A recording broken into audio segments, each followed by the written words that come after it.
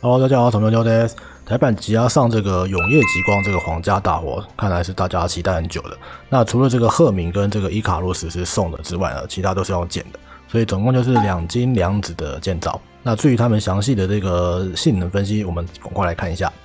好，首先来看一下英仙座，英仙座大家多少都有耳闻嘛，它强的地方就在奶妈部分。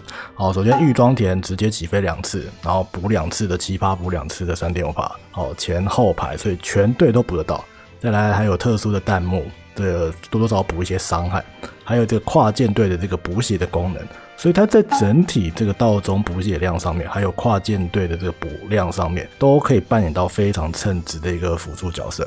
然后加上玉装田的爆发力，所以在在道中配合我们的法国队啊，在大世界里面可以达到很好的一个清场效果，周回的效率非常的快。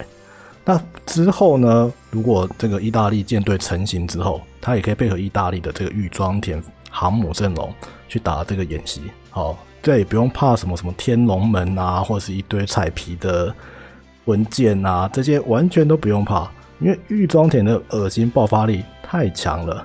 我们后面还有这个意大利的舰队，他们也有一个玉玉装田的这个航母，那个伤害打击量非常的强，所以以前我们都会觉得说，哦，吃喝长先手优势太可怕。那现在有这个玉装田的航母，比你先手还要快，哈，天下武功唯快不破，哦，玉装田就是快，就是狠。那在 skin 部分呢，现在它有出一个这个巫师的 skin，哦，有喜欢的再来买。总之这一次的活动。非入手不可哦！这只角色太强，人拳脚、奶妈输出什么都有。好，接着我们看一下豪豪呢，它有一个特殊弹幕，每十五秒会打出这个特殊弹幕。它不吃旗舰，然后它是跨射锁定的，好榴弹形式。那打出去呢，还会增加我方后排这个战舰系统有额外的这个命中还有装填的 buff，所以它很适合在配合战舰这个系统里面。做到一个 buff，还有一个弹幕伤害，而且不吃旗舰位，聊键位就可以有一个很好的弹幕伤害，还有 buff 效果。再来呢，辅助技能呢，它一样，它如果跟我们这个乔治级的或是皇家有三只以上的话，可以提升自身的这个能力。好，对，基本上它就是绑定跟乔治级的或者皇家舰队去做一个强化的动作。基本上现在会使用的话，它就是跟约克一起上。好，因为约克也是战舰，那约克也有增伤，那配合在大地这个后面的这个战舰的整体的输出、装填、命中上面，都是一个很好的一个大炮系统。未来在打这个大世界，主要在打 Meta 这个角色的时候，Meta 替敌人的时候，这个大炮阵容相当的好用，而且这个负担还有要求都不是很高。好，简单的这个大炮，简单的这个装备，用这个组合，基本上都可以打出不错的成绩。这个在打这个大世界 meta 的时候，相当好用的一个阵容。好，接着我们来看一下赫敏。赫敏呢，她是一个带朵级的角色，不过整体的外形跟这个带朵姐妹是差蛮多的。好，她是比较接近贝法这个外形。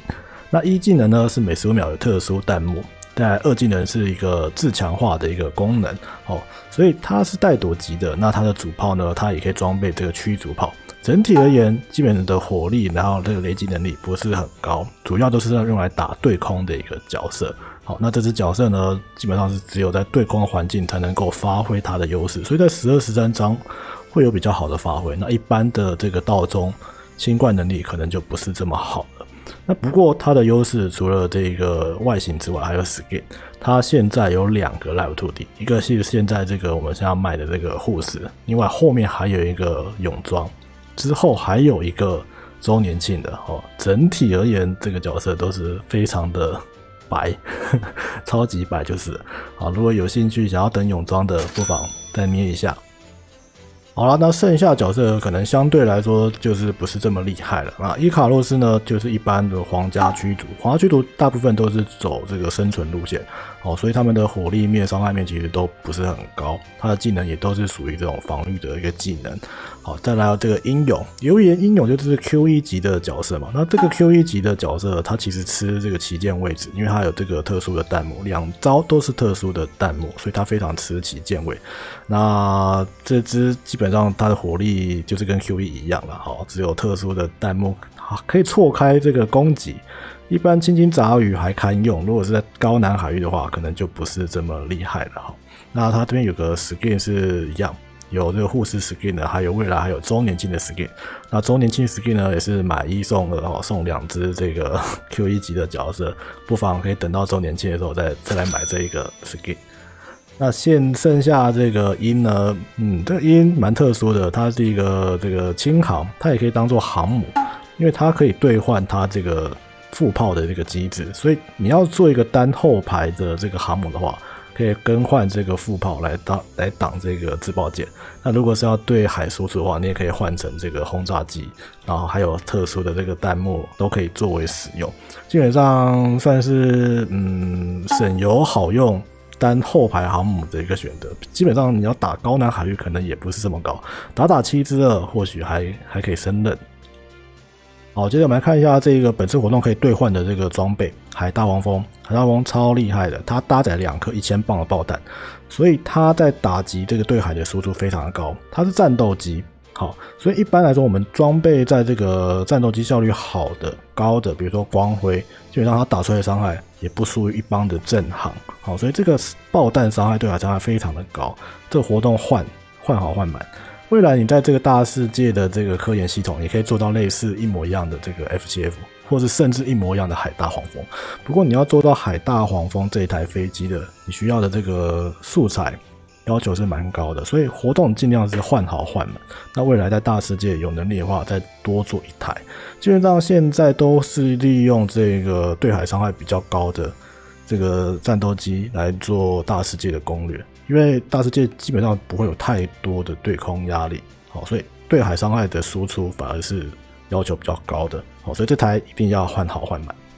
好，再来另外一个增加的设备呢是这个黑棒，黑棒跟彩棒一样都是加这个雷装属性的，啊，只不过这边是少了三十，而且补上了十五命中。那它另外一个被动呢，就是把我们第一轮的这个鱼雷转换成磁性鱼雷，比如说我们一开始带了六三三鱼雷的话，它一开始预装点出去就是磁性鱼雷。面板伤害都一样，而且第一轮的增伤会有五趴，不过第二轮的话就会变成普通的鱼雷。好，所以这两者都有优势。好，你可以带磁联配上彩棒，你也可以带这个六三三配上这个黑半转磁联。好，在第一轮的伤害上面，两者其实不相上下，因为就是看鱼雷的命中数目而定的。那第二轮之后呢，那彩棒优势还是比较大的。那这个黑棒到底比较适合谁？比较适合雷重巡，比如像一吹或者柴俊这种，他们本来就是需要这个命中属性比较多的，好重巡比较全命中。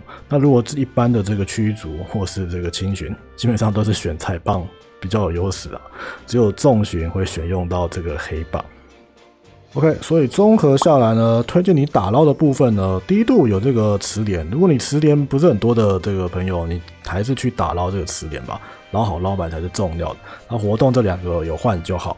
黑棒的需求，如果你磁连捞过很多的话，你可以再多捞一根黑棒以备不时之需，或者是甚至你也不需要黑棒，直接去捞这个赫敏也是 OK 的。好，所以基本上比较多推荐到是。推荐去捞这个磁连，然后赫敏，然后赫敏捞完的话，你再回头捞个黑棒也都可以。好，基本上这这个活动没有说必要一定要捞什么，那就是看你差什么去捞什么。好了，以上是这次这个台版永夜极光的一个基本介绍。那至于你想要更了解更多细节的话，那我有个别做影片，那我会把这个影片链接放在下方。好，有兴趣想要了解更详细、更多的这个朋友，可以去下面观看。好，那我是长面牛，我们下次见啦，拜拜。